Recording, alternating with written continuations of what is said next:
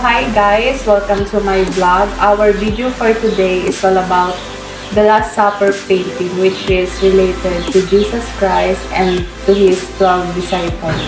So for now, for, today, for today's video, we will tackle or I will discuss to you all about the Last Supper painting.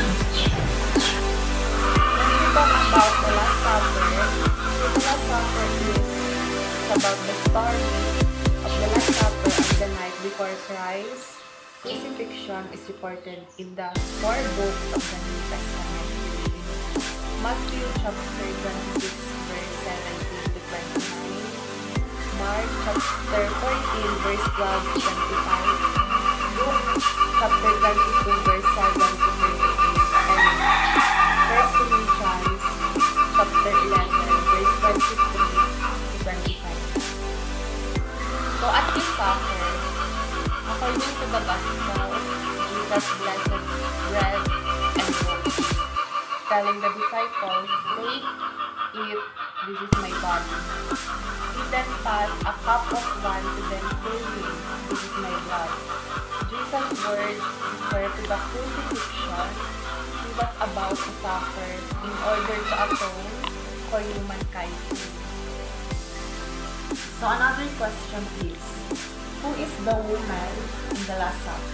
According to Ross King, an expert on Italian art, Maria Magdalena's appearance at the Last Supper would not controversial, and Leonardo would have had no motive to disguise her as one of the other disciples. So she was widely venerated in her role as the apostle to the apostle and was the patron. The Last Supper, also called Lord's Supper.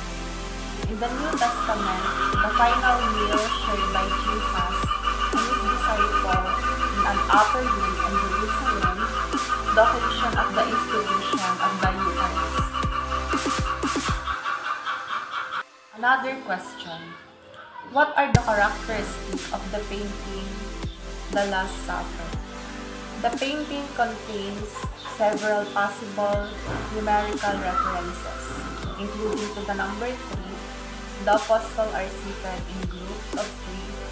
There are three windows behind Jesus, and the shape of Jesus' figures resembles a triangle. His hands are located at the golden ratio of half the height of the composition.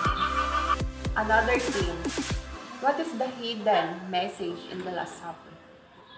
Built into the Last Supper is the subtle message that sets it apart from other paintings of its kind.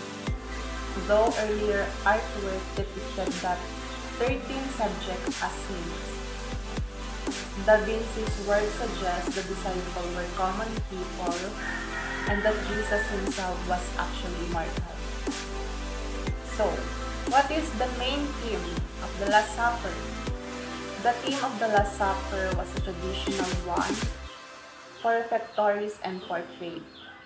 Jesus gathering his disciples to wash their feet, or symbolizing their equality in the eyes of the Lord, and announcing that one of them would soon betray him. Another thing is what is the texture of the Last Supper? The texture of the Last Supper paint is essentially soft by virtue of the type of paint and background material used in reproducing the original version. Question is, why is it called the Last Supper?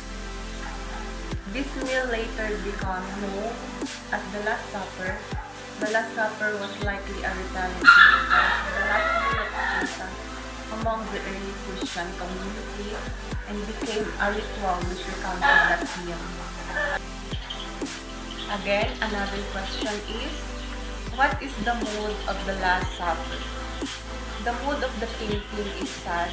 The focus of the painting, the moment when Jesus tells his disciple about his death. The mood is of disagreement and tension. The painting shows the moment when Jesus tells his disciples that one of them will betray him. So, For this question, we will talk about the color. What color are used in the Last Supper?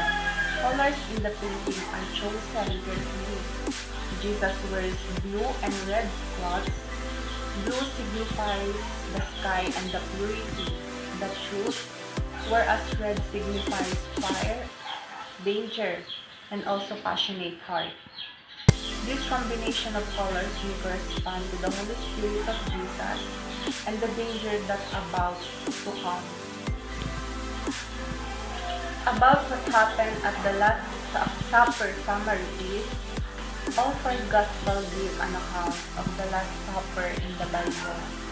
At this gathering, Jesus Christ shared his final meal with the disciples on the night before he was arrested also called the Last Supper, the Lord's Supper.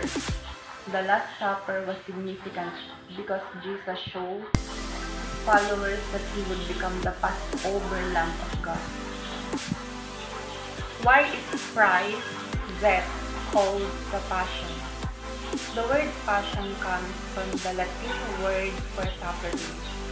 The crucifixion of Jesus is accepted by many scholars as an actual historical event. It is recorded in the writings of Paul, the Gospels, Josephus, and the Roman historian Tacitus. So, what kind of painting is the Last Supper is? So, the kind of paintings the Last Supper is history painting. In terms of shape, how is shape used in the Last Supper? His shape is equilateral, or where all sides are equal. With the top point, as we said, the two sides are his outstretched, uh, outstretched arms, and the base of the triangle appears where the table meets his torso. And this is a very meaningful question with a very meaningful answer. What did Jesus teach us about the Last Supper? After they finished eating, Jesus told his apostles that they should love one another as he had loved them.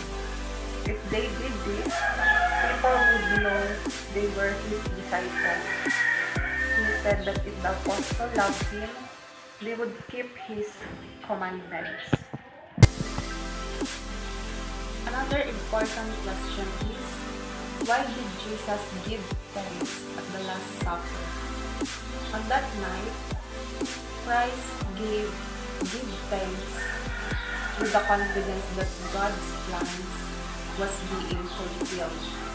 This is the this is the meaning of in everything give thanks, for this is the will of God in Christ Jesus concerning you. Book of 1 Thessalonians chapter 5 verse 18. The Lord delivered a powerful lesson on thankfulness in Book of Luke chapter 17. So hi guys, thank you for watching my vlog. I hope you've learned a lot.